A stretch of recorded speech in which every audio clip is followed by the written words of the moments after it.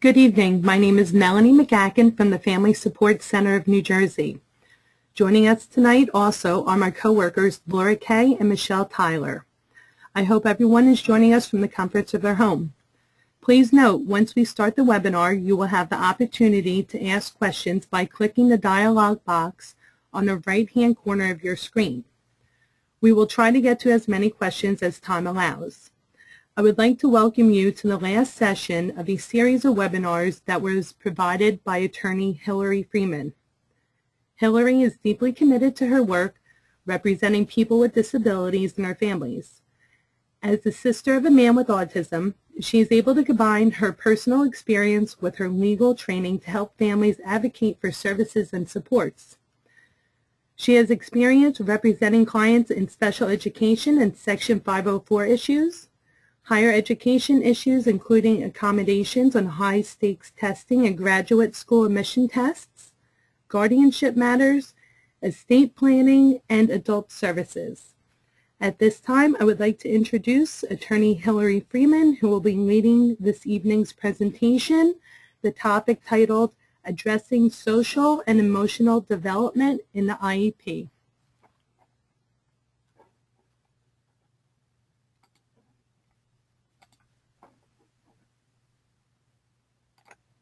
Okay, Hillary, Can you hear me? control of the screen? Um,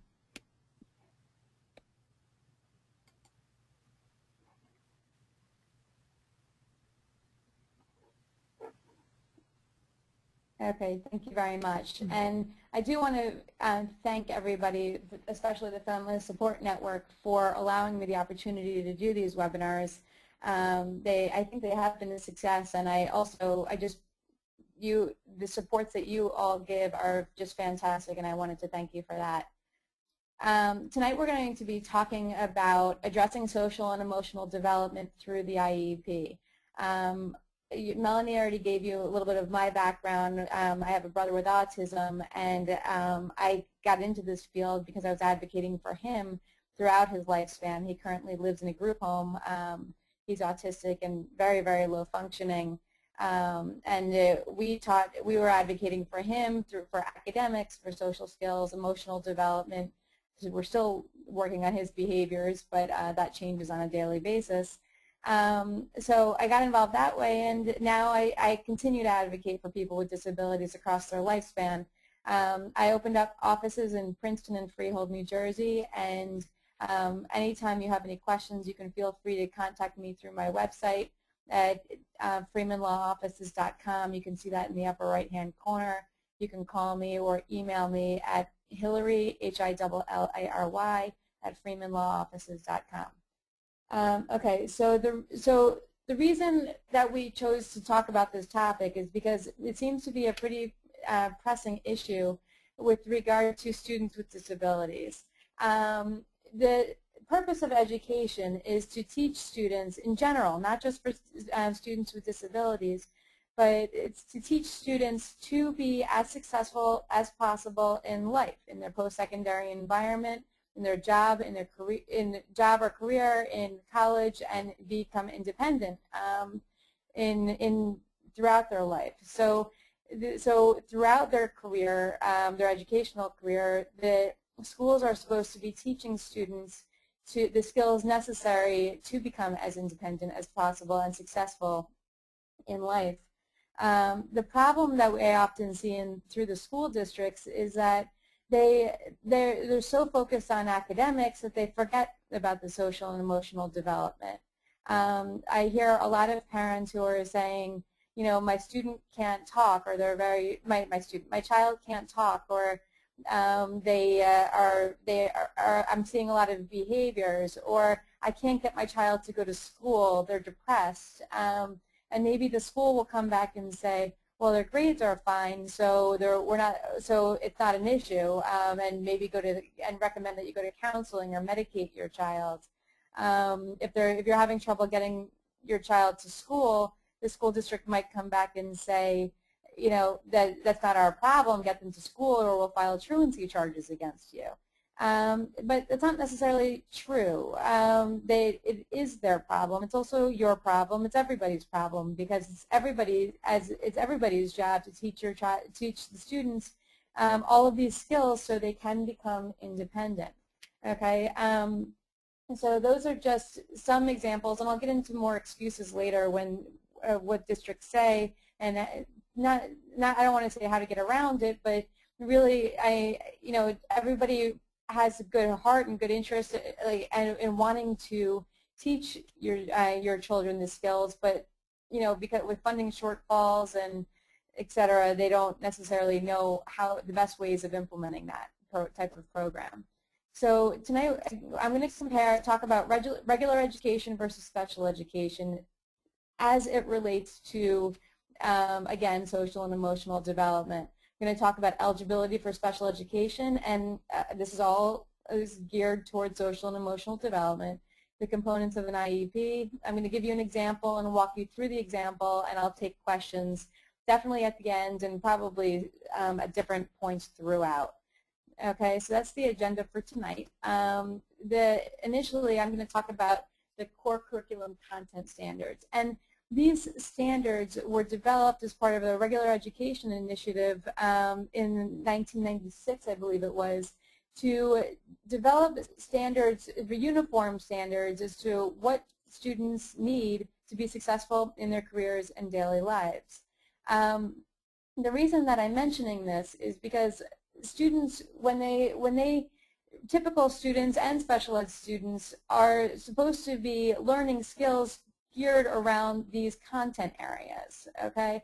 Um, all teachers are supposed, are theoretically supposed to be teaching skills according to these standards to make sure everybody's learning the same skills and same areas um, because this is what a, a, committee determined was necessary for the students to be successful um, in their careers and daily lives. So you have the core curriculum content standards, and then what about the students with disabilities? Um, this, especially for the Individuals with Disabilities Education Act is the law that governs special education, and that was designed also to ensure that students, um, that all children with disabilities have available to them a free and appropriate public education that emphasizes special education and related services to meet, designed to meet their unique needs, and again to prepare them for, to, for further education, employment, and independent living.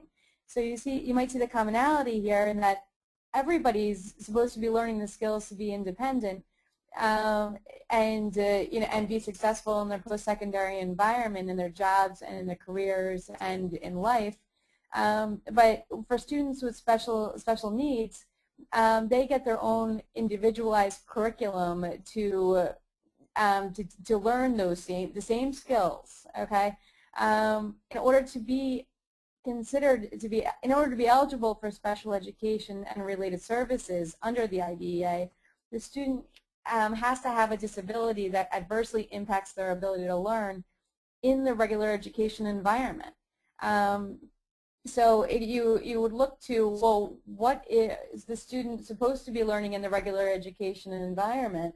And is your child having difficulty learning those skills? Um, if so, is it because of their disability? Um, and is their disability impacting their ability to learn those skills? Okay, so again, we're talking about you have the general education curriculum, which is all, all centered around teaching your children skills to be successful in the post-secondary environment, meaning past high school. And then um, you have the IDEA, which gives, which teaches, which says school districts, if you have to give the child with special needs an individualized curriculum so they can still learn the same skills so they too can be successful in the post-secondary environment. Um, so what skills do you, does your child need to be independent um, and to be successful? Well, they often need good social skills. Uh, they need to learn how to communicate, um, which is obviously extremely important. They need to learn how to initiate conversations, respond to conversations, take turns. Um, they need to learn appropriate behaviors. Um, some of you who may have heard me speak, I talk about how my brother might go into a mall and um, if he wants something and I say no, he might jump up and down. Well, one might say that that's inappropriate behavior. Um, so that so an appropriate behavior is is key to being successful. You can't go into the workplace and when your boss says no, um, jump up and down. I've tried it many times. It's never worked. Uh, so I strongly would encourage you not to do that either. Um, so that, but again, you need appropriate behaviors. Uh, emotions. Um, how does that play into the chi a child's uh, curriculum?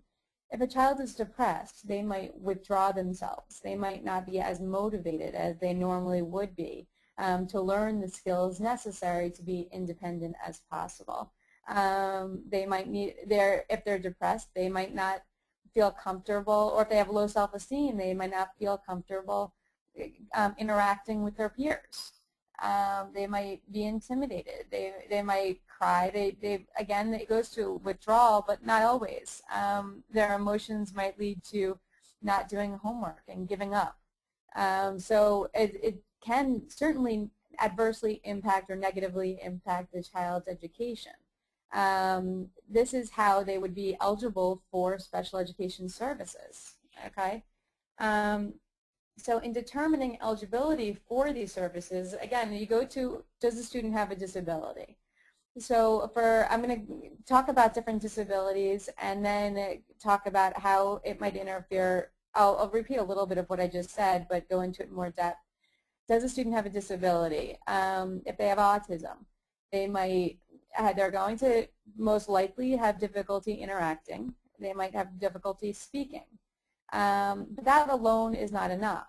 Um, they might, they have to, that disability has to interfere with their ability to make progress in a particular area. Uh, so they can't do, so if, if depending on what the area is, that's it, the disability would might may or may not interfere with it. It might not interfere with every area. It might interfere with some areas. But regardless, those are the areas that a certain committee determined were necessary for the child to make progress or become as independent as possible. Um, so it doesn't have to be in their entire educational program. It, it, it can be in any area that the school district um, or, the, or the committee determined was an important area to teach in the school system. Um, so a student might be getting really high grades um, in math and in reading, but they are not interacting in this in the in group work, group meetings. Um, you learn a lot of skills in those team meetings or group assignments. You learn to initiate conversation. You need to you learn to respond to conversation. You need you learn uh, maybe perhaps to take turns, analyze ideas, express ideas um, and you know just com completing the assignments themselves. So if a child has a disability that limits their ability to perform these skills, it will interfere with their his or her ability to progress in that area, uh, even though it's they might not be they might not be graded in that particular assignment. Um, then you go into the next question or the last question in, in this legal analysis, does the student require special education and related services to learn these skills? Well, can they learn in the regular education environment, or do they need that extra instruction? Um, a student with autism might need a lot of repetition, okay? Or they might, you know, they might need to learn, have a more of a breakdown. A student with any disability might need to learn to break down the skills more so than a regular education student might need in which case they, they would be eligible for special education and related services because they need those they need that that individual curriculum in order to learn those skills.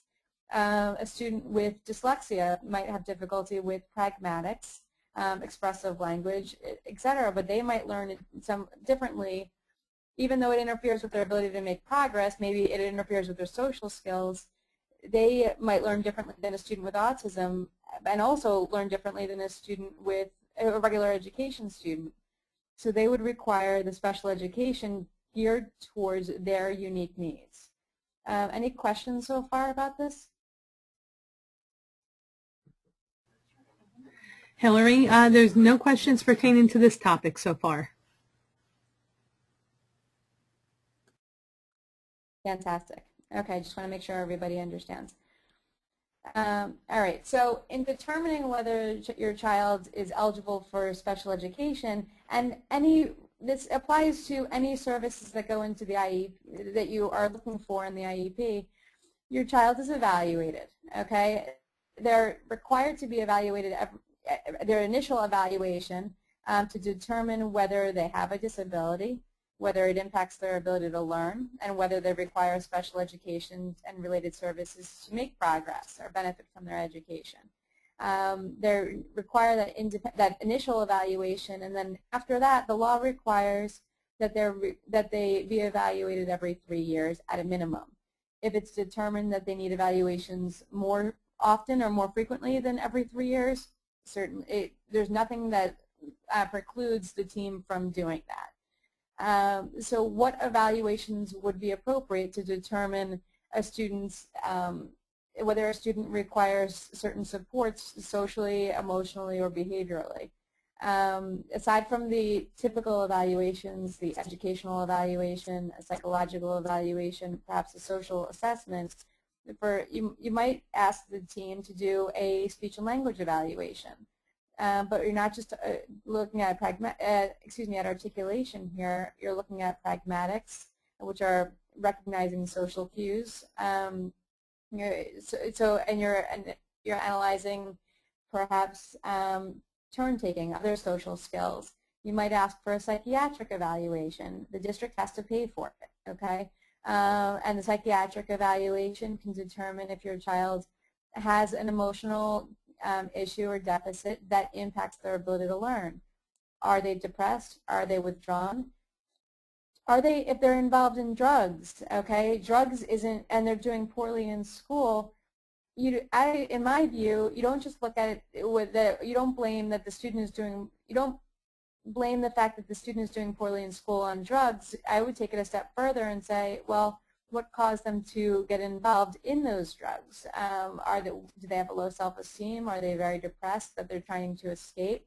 Are they just trying to be cool? I mean, the, the evaluations could look at that. Okay, you might look for um, a, a, what else? An occupational therapy evaluation for life skills, but that doesn't really go towards social and emotional functioning. You can look to a functional behavior assessment. Uh, you can determine to determine um, if the child is having behaviors that impact their ability to learn, why, what's causing those behaviors, um, and what is needed to alleviate those or remediate those behaviors. So those, these are the types of evaluations that might be appropriate um, to assess whether your child needs these extra services in their IEP you can get an augmentative communication evaluation.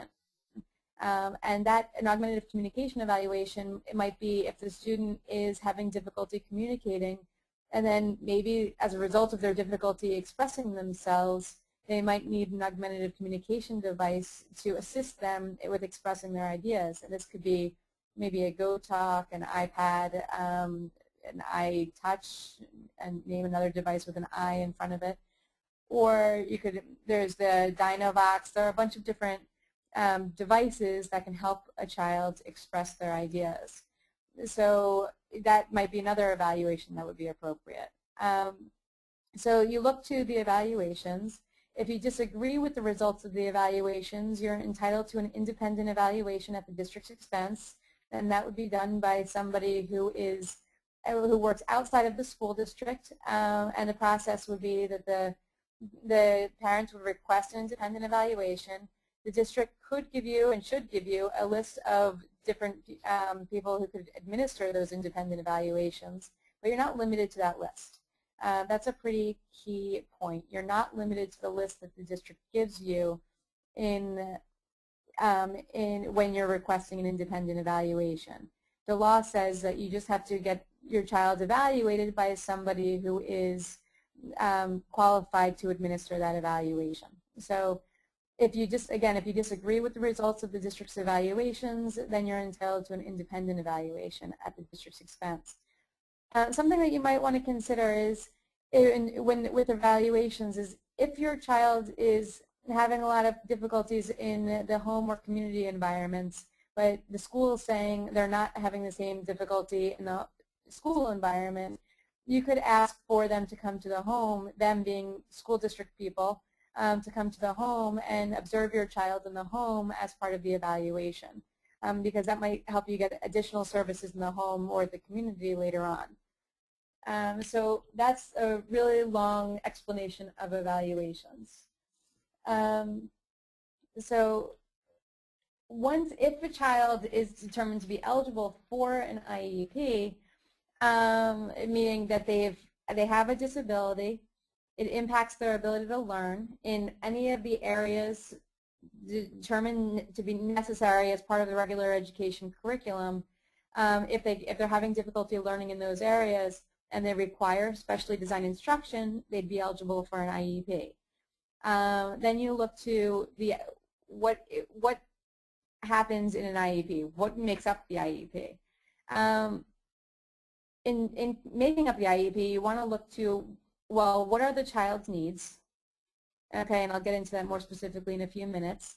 Um, what supports does the student require to benefit from their regular education curriculum?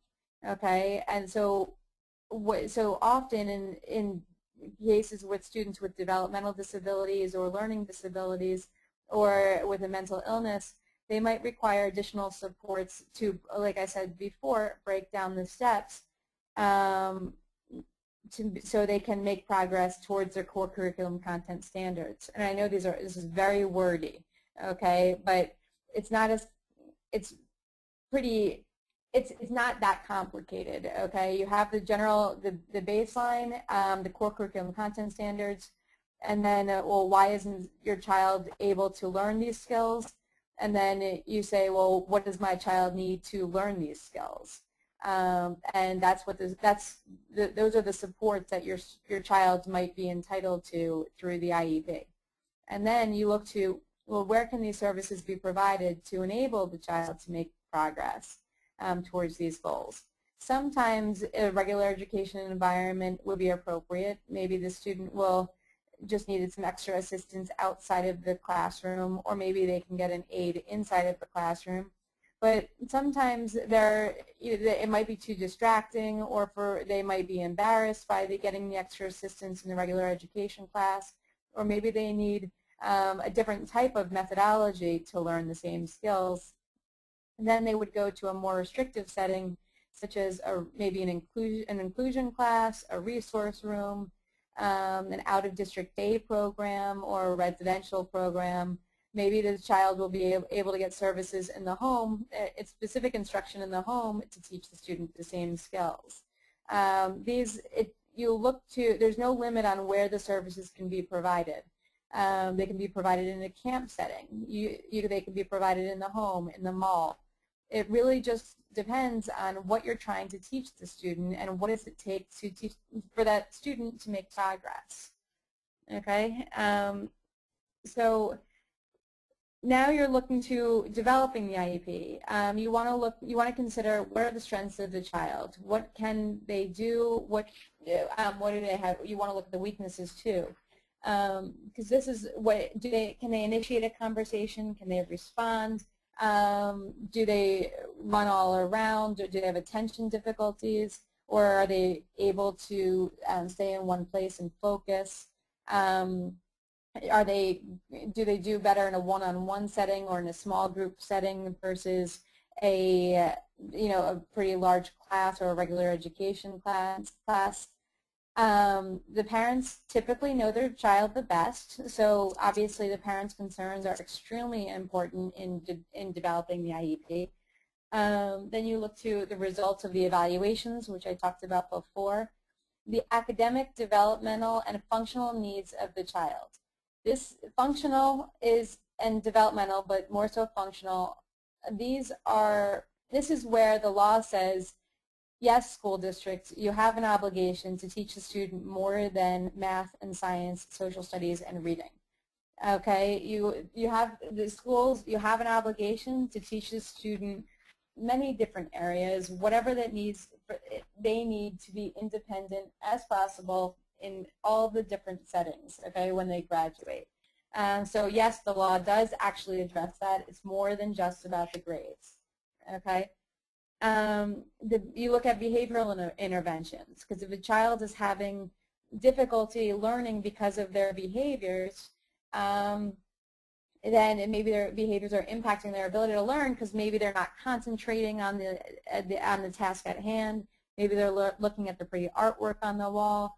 Maybe they're getting really upset about something. Anytime, maybe the, the teacher um, says, you know, changes activities very quickly, and a student who has difficulty with transitions might get really upset.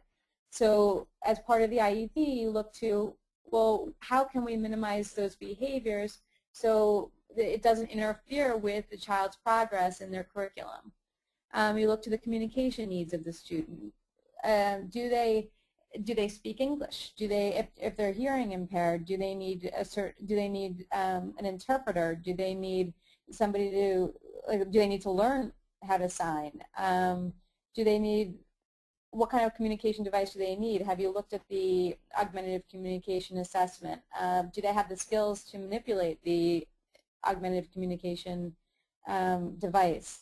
And then assistive technology devices what does the student need, again, so that to minimize the impact of their disability on their progress in the curriculum, such as maybe a slanted desk, um, um, that's a, a enlarged print, um, things like that. So I'm just giving some examples. A tape recorder, a tape recorder um, to to copy the notes or to tape record the notes for the student who has difficulty with note taking.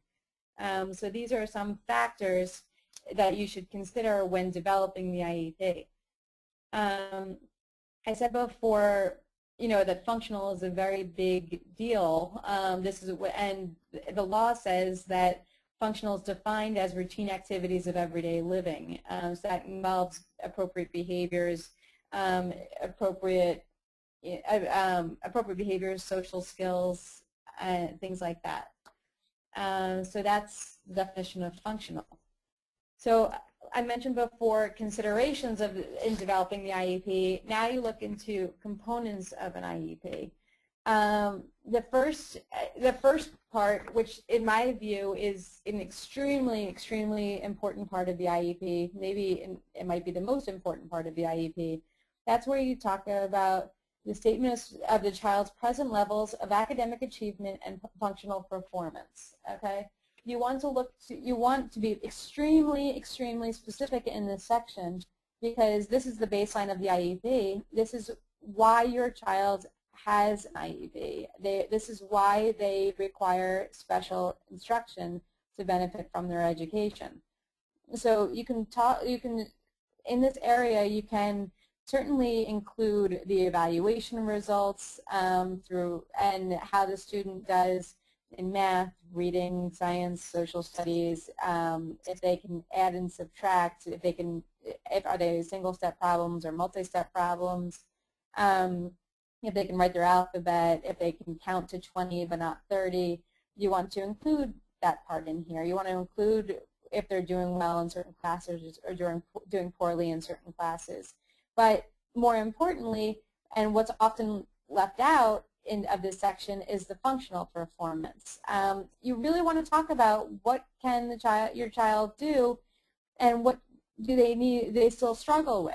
So for social skills, I, I keep on going back to a simple example, which is initiating a conversation. Um, can they initiate a conversation? Do they, do they initiate it with peers and with adults, just with peers, or just with adults? Um, do they know how to take turns or do they talk about, talk constantly, kind of like what I'm doing now? Do, can they change subjects? Um, or do they talk about only what they're interested in talking about? So these are certain um, parts that you can actually put in the present levels of academic and achievement and functional performance. In fact, you really should put that in there. Otherwise, there's a chance that people are going to not know about it and that area might never be addressed. So you really should be specific here. Um, I said before, this is the baseline of the IEP. This is where you write what your child can do, what they can't do, um, what they need assistance with, might, what if they need prompting in certain areas, you should note that they need prompting. Um, because not only will it help with teachers understanding your child's needs or profile, it will also help you measure progress from year to year. So if your child is doing is able to do the same things that they could do five years ago, and they're still struggling in the same areas that they were struggling with five years ago, you know you have to change something. Um, hopefully you're not waiting five years to do that, but you know you get you get the idea. Um, then you go to number two, statement of measurable annual goals, including academic and functional goals designed to uh, meet the child's needs um, that result in the child's disability to enable them to make progress. So you want to talk about, like I, I mentioned before, what do they need to to benefit from their regular education curriculum? Okay, what skills do they need? What instruction do they need? Um, and then you want to make sure that the measure the goals are measurable. They're not anecdotal. Okay, a, a goal such as the student will learn to act in a socially appropriate manner is not measurable. Okay, you might want to talk. You might want to specify what environment you're talking. Where what environment your child will learn um, the skills. So if they're going to act in a socially appropriate manner in the classroom, that, or the, that might be different from the library or the cafeteria or the hallway or even the mall. Okay, so you want to talk about, well, you want to make goals, design, write goals designed around your child's unique needs. Okay, not their disability, their unique needs. Um, so, and more goals related to um, meeting each of the goals around all of the educational needs, not just functional performance, and then a description of how the child's progress, how the child's uh, can progress towards meeting the annual goals. How will it be measured and how will it be reported? If your child will or the student will learn to initiate a conversation um, 8 out of 10 times, it should, data should be collected or you should understand how are they measuring 8 out of 10 times? Under what circumstances are they collecting data? Okay, not only when they can do it, they should be collecting data as how many, when they're actually attempting to do it and when it's successful and when it's not successful. Okay, so these are this these are the goals. They need to be measurable and they need to be reported accurately so you can determine whether they are um, your child is making progress okay, and learning the skills. Okay, um, any questions so far? Hillary, we actually have quite a few questions coming in. Um, the first one I'm going to give you is that does the school district have to address the social and emotional needs in the 504?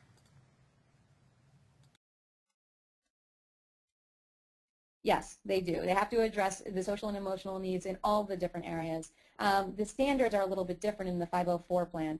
Um, the 504 plan is considered to be an accommodation plan, and so you're getting accommodations to help the child make progress. Um, you're not getting specially designed instruction, um, or that's what the law says. Um, practically speaking, you could certainly include specially designed instruction in the 504 plan, but the district is not required to include that in there. Okay, our next question is, what specific supports are there that you might recommend to assist with social and emotional development? I have a high-functioning son with Asperger's. He's mainstreamed with a one-on-one -on -one para. Um, what specific supports for a student with Asperger's? Some might include, and you're not limited to this, I have to be a lawyer and say include but not limited to.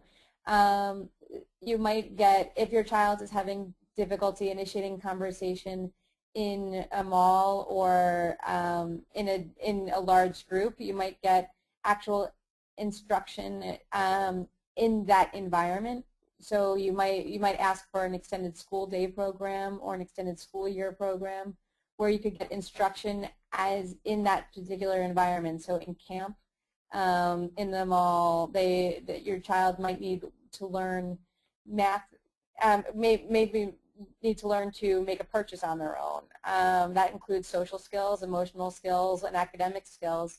Um, they so it might you might ask for an extended school day program either when your child is younger or as part of their transition plan at 14 or 16, um, where an aide or a job coach takes them out into the community and helps them, you know, go into a store, make a purchase, um, ask for change and count the change. Um, and so that will involve expressing themselves, expressing wants and desires, as well as um, in, incorporating academics into that environment, and that's and that's a life skill.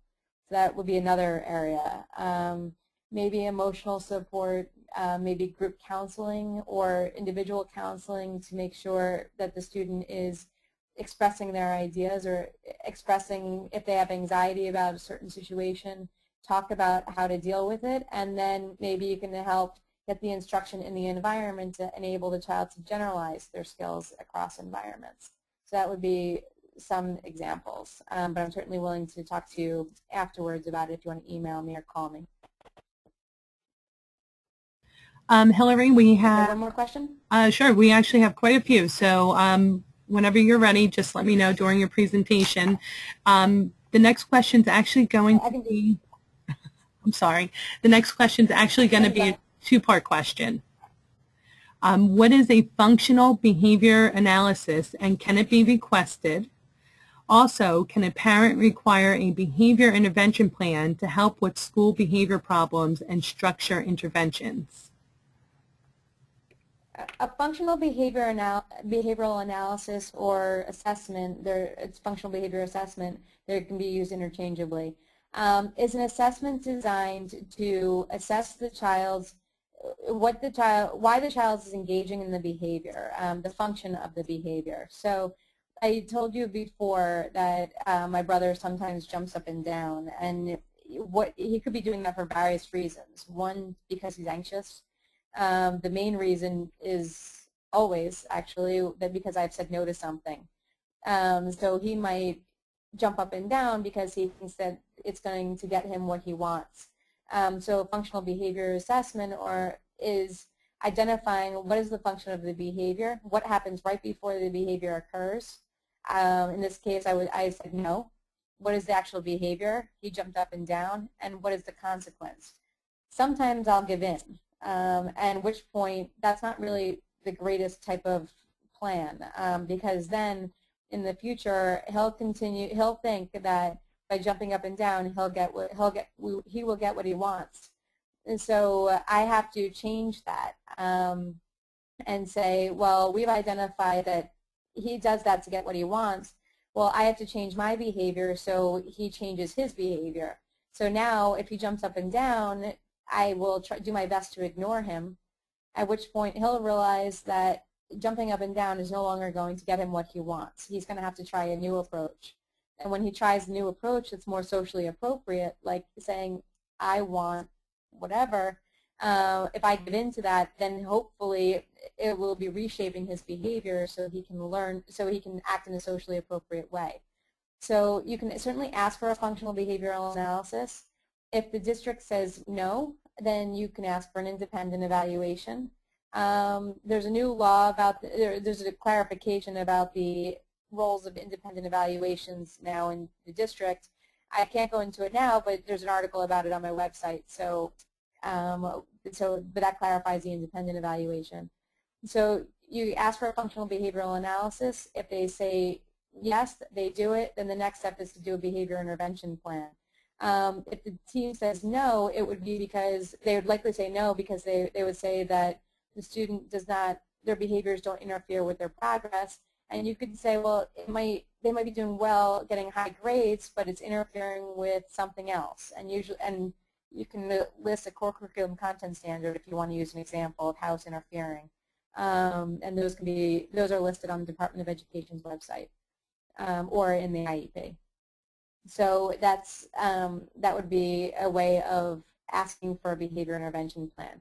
Parents can't require anything. Um, they can ask for it. If the district says no, they can challenge the district's re, uh, response by filing a petition for mediation and due process. which is not as complicated as it sounds, but um, I'll, I'll, get into that at another time. Okay, so um, I hope that helped. And moving on to um, the, the last part of the, this, which is the Statement of Special Education and Related Services.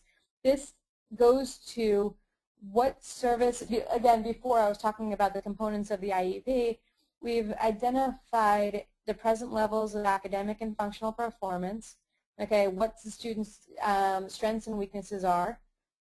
Then we've identified, well, are those services, how are the service, those disabilities or issues interfering with your child's education, okay? Where do they need to focus? What do their goals need to be? And then now, what special education and related services does your child need to achieve those goals? Okay? And if so, something that I'd like to point out is if a goal is in is outside of the school environment, the school district still has to provide the special education to teach the child to advance appropriately towards the goal outside of the school environment. They can't just name a goal and say, all right, well, now you focus on that, unless you agree to it, of course. Um, they have to actually provide the instruction outside of that environment. Um, that can be done through an extended school day program or the transition plan um, as the child gets older. Um, so that's that's statement of special education and related services. You you might also your child might need speech and language. They might need um, a sign language interpreter. They might need an augmentative communication device. They might need a social skills group. Um, they might need instruction in the environment where the skill is going to be used. Like I said before, camp okay? You don't, if your child needs to learn to interact with peers, you might get instruction, your, your, child might need instruction on re, in recess or in the cafeteria or in camp or in, um, in the mall. So those are, um, that would be under the Statement of Special Education and Related Services. They might need counseling, okay? Um, I have a case now where the student it um, was having truancy issues, and I say truancy loosely. Um, they, um, he is he's having school refusal issues really, and that's because he's really depressed, um, and he has other emotional issues. Well, the school up until he dropped out, that he didn't officially drop out, but until he stopped going, um, they were giving him counseling once a week for 20 minutes. Um, that's not enough. That's not enough to address the student's emotional concerns. First, it takes time to get to the, the um, therapy session and get settle in, and then by the time they settle in, it's probably they're probably leaving. Um, meanwhile, tons of things can happen during the week that the student might not be able to express in their therapy session. So 20 minutes isn't enough. Um, if that's all they can provide so they don't miss a lot of uh, classroom time, then maybe they should get therapy outside of school, either through your the parents, insurance companies, or perhaps the school district if determined necessary. Um, maybe a special education program in or out of district. Okay, um, they might, so counseling might be an appropriate area to address. Um, excuse me, an appropriate related service. And then these are all the skills. This, I, going back to C, to be educated and participate with other students, you want to get the instruction necessary so the child can hopefully get to a mainstream setting at some point in their curriculum uh, or their educational career. That's ultimately the goal, um, so for them to be educated in the least restrictive environment with typically developing peers. Is it always appropriate for the student to learn in that environment? No. Um, if the only reason they're, in, they're in that environment is to have mentors, and then take it a step further, they don't interact with those mentors because they have different interests, it might not be appropriate for this child to be in a regular education environment. Uh, students with Asperger's often talk about very different things from regular education students. Um, they might like to talk about computers or robots or planes or trains or automobiles um, or any, you know, whatever they're particularly interested in. Um, and the regular education student might look at them and say, well, we're not interested in that, you're weird, and then pick on them. Well, that's an issue. That could become an issue. So you really want to look at, well, what is the child trying to achieve, and will that environment help them achieve that? Uh, so I'm going to go through an example because I think it really illustrates my this whole presentation, um, and that is here's a core curriculum content standard. Um, collaborate. The theme is collaboration, teamwork, and leadership. Okay.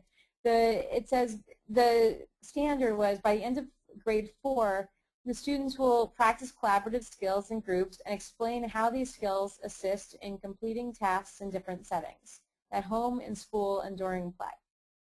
Okay, so it's collaboration. This is a social skill. Okay, and it's also analysis and expressive language. If your child is having difficulty achieving this goal because or the standard because they have difficulty learning social skills from the get-go, then they might need to break it down a little bit further. They, you might need to learn, they might need to learn to break these standards down further by putting in um, smaller goals in the IEP that give them the baseline tools geared towards teaching them these skills. Um, they might not learn these skills by the end of grade four, but they're learning the skills necessary to make as much progress in this area as they can. Um, by the end of grade 8, determine an individual's responsibility for personal actions and contributions to group activities, um, and then use of compromise, consensus, and community building strategies for carrying out different tasks, assignments, and projects. This might not be appropriate for a student who is extremely low functioning like my brother because he's learning to say his name and address, let alone, so he's not learning to compromise and, you know, use, learn community building strategies. Um, so this wouldn't apply, so he would get individual goals, okay, geared towards social skills, but this wouldn't, maybe learning to turn take, um, but this is, it's too advanced for him. Other students who are higher functioning, this might not be too advanced, but they still might need to learn to break down the steps to learn these skills. That can be done through the IEP process, okay, through a related service, um, through goals, through um, extra instruction out in, in the classroom, outside of the classroom, you know, wherever it might be necessary that the instruction take place. Um, extra, you put in extra supports, accommodations, um, maybe if they need extended time on something. Um, or an aide, a one-to-one -one aide, a two-to-one aide, maybe a social skills group, or someone to help them um, take turns. This is, uh, like I said, this is, you can break these skills down so they learn. Um, this is, I'm sorry, the slides are a little bit, are, were switched. Um, it goes, this is all towards um, teaching the students skills to be successful in their career. And uh, these are, and it's important because it will enable them to achieve common goals with greater efficiency. Um, the, the, the committees have determined, at least in the state of New Jersey, have determined that this is an important skill to have. If the districts are saying, or if your teachers are saying, your child is, is fine in school, well, are they able to achieve these goals? Okay? They might not be graded on these goals, but it doesn't mean they're doing fine. They might be shy and not initiating. If they're not a behavior problem, that doesn't mean that they don't need, that they're, that they're fine in school, okay? They still might need that extra instruction to initiate, okay, or express their ideas. Um, so that's, so that's where I'm going with the core curriculum content standards. They are having difficulty achieving the standard, why are they having difficulty, and what steps do they need to make progress so they can learn these skills, and what supports do they need to make progress to learn those skills. Um, I like I was talking before. For to learn those skills, you might need social skills, confidence, appropriate behaviors, and, and analytical skills. This is what the IEP can should include you don't omit these areas. They certainly can include goals beyond the core curriculum content standards. They're supposed to include individualized goals according to the student's unique needs. Um, I know the IEP is developed on a computer-based program, but there's no reason that it has to be limited to those core curriculum content standards. In fact, they're not supposed to be limited to that. Um, so, like I said, how will the student learn those skills? Um, special place, special education, related services, um, special placement in district or out of district, and measurable goals. Um, and then, so that's that's really the analysis. And then I'll take questions now if you have any.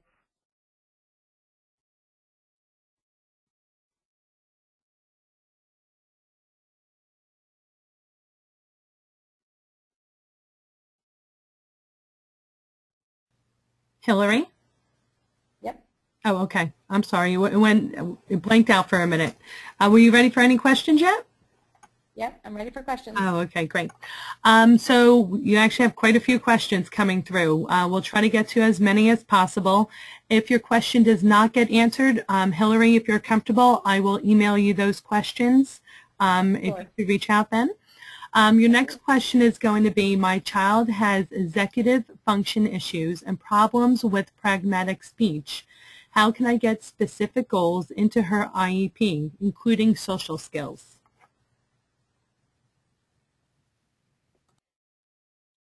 Well, you you go through the evaluation process. Um, if you say your child is having trouble with executive functioning, which is organizational skills or maybe expressive language, um, you, you have to demonstrate that your child is, that it's impacting their ability to learn.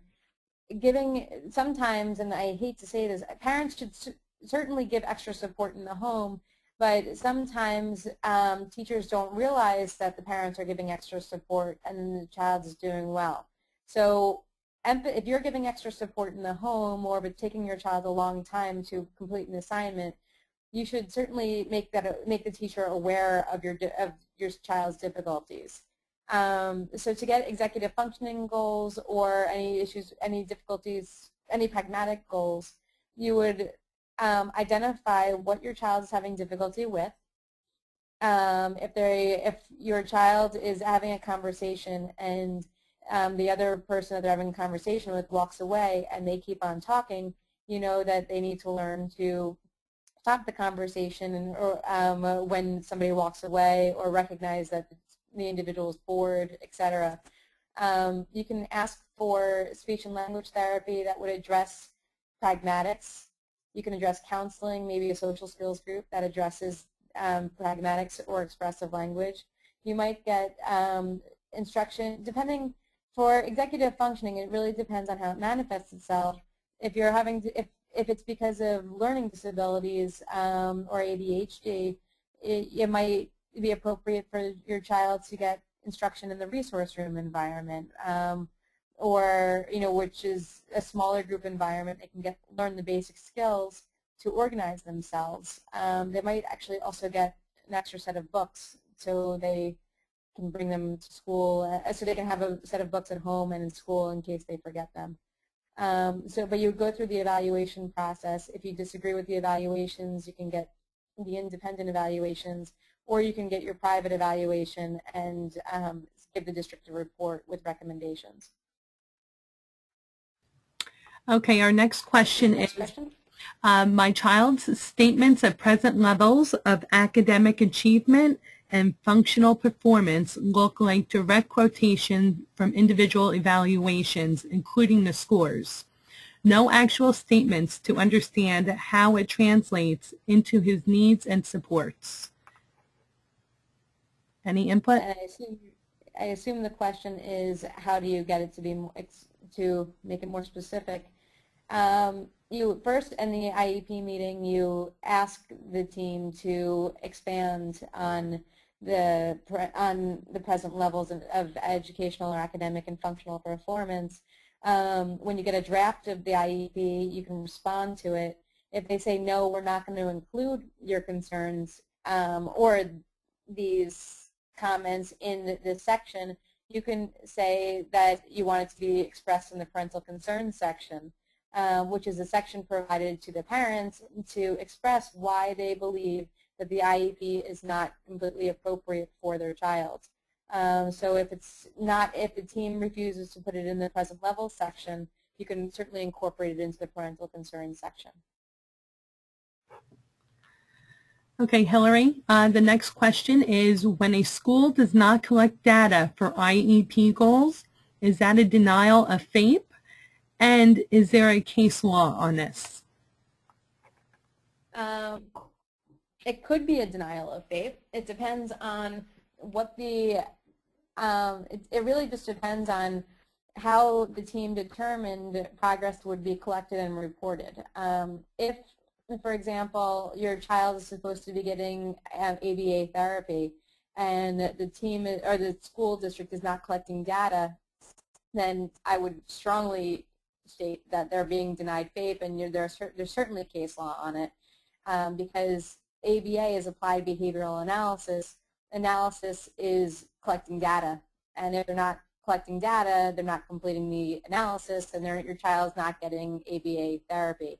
So yes, it could. One could certainly argue, and there's case law to support the notion that if you don't collect data, you're not your child is being denied FAPE. Um, it's not as simple as that. That is a certain, but it's a strong argument to make. Um, if it, you have to show also that your child is not making progress. Um, you have to show that not collecting data is interfering with your child's ability to make progress. Um, and that's something I can't just openly ask or answer, but I could, but if you want, I'll re I can review reports and things like that to make a better determination. Okay. Um, the next one is my child has high functioning autism with, I'm sorry, my child with high functioning autism receives a weekly lunch bunch social skills group as a result of being bullied. However, the school will not provide any social skills goals. How can we get her some social skill goals so she can learn to advocate for herself and interact appropriately with her peers? Well, first of all, you would in include in the present levels of academic and functional performance or the parental concern section, you would include that your child has difficulty um, with social skills. It, from a practical standpoint, you don't really, you shouldn't really need to do that because if they have autism, one would say that they have difficulty with social skills, but you should, nevertheless, you still, still should include it in that section. Um, and then uh, you, you, if you want to make a point to the child study team, you would say, look, my child's eligible for an IEP for a reason. Um, they're eligible because as, if they're eligible under the category of autism, they're most likely eligible because their social skills are interfering with their ability to make progress, and therefore they have to include goals to that effect. If they say no and they refuse to address that, then you're, you have the right to challenge the, uh, the IEP through due process proceedings. And Hillary, I know that we're running out of time.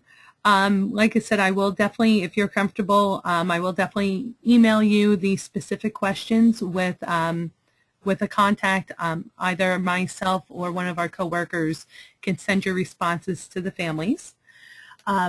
Just to give you one last question, if you're um, if you're okay with that, we have um, a few families are asking if you can give some specific um, measurable social skill goal examples. Of course, this is my favorite area. um, the one goal would be my child will be able to, will learn to initiate a conversation with a peer without prompting um, three out of five times in the cafeteria. Uh, they will learn to respond to a conversation from an adult or from a peer uh, three out of five times um, with or without prompting, depending on your child's level uh, um, of functioning um, in the cafeteria or in a classroom. Um, you can pick the environment that you want. Um, my my child will, the student will learn to um, express when they want something by saying, I want uh, the iPad, um, as my brother likes to say on a regular basis. Um, and, and then you can also, if you, depending on the child, you might say that my child will learn to express that what they want without having a tantrum ahead of time.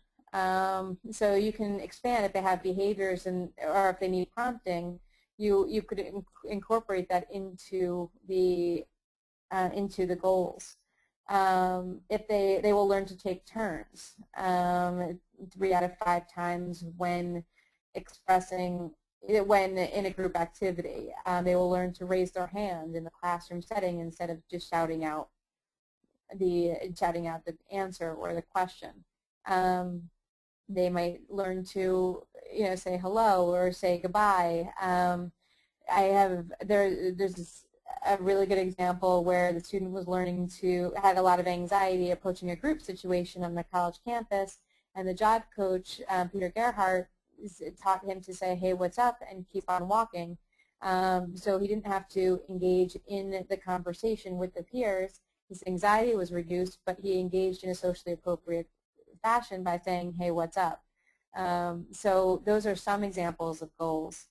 Um, the you know so those those are some examples. In terms of emotional functioning, they if your child might um, learn to raise their hand and um, and go up to the teacher if they're being picked on or if they if they're anxious. Um, they might learn. Sometimes teachers will give a cue card to students to express their ideas or express their feelings. So if they can't come up with their feelings, they might refer to the cue card. So a goal might be this, if the student gets anxious, they will refer to the cue card for an example and for to express their ideas. And then, I mean, that's just another example. So I have tons and tons of examples, but those are just um, some of them.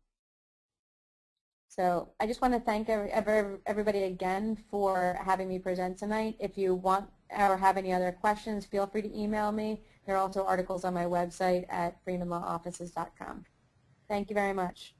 And everyone, please remember to register for Hillary's upcoming IEP review clinic. Um, openings are still available in the Trenton and the Parsippany locations. Please call the Family Support Center of New Jersey. Um, please call the Family Support Center of New Jersey's office. Uh, the number here is 1-800-372-6510 or 732-528-8080 to reserve your session. And on behalf of myself, Hillary Freeman, and my coworkers, Laura Kay and Michelle Tyler, we would like to thank you for joining us for this evening's presentation. Your feedback is important to us, so please look for your evaluation via email within the next 24 hours. Your input will help us determine future topics, so we encourage you to complete this evaluation. This webinar will be archived on the Family Support Center of New Jersey's website that is fscnj.org. Thank you for joining us and have a wonderful evening. Thank you, Hillary. Thank you.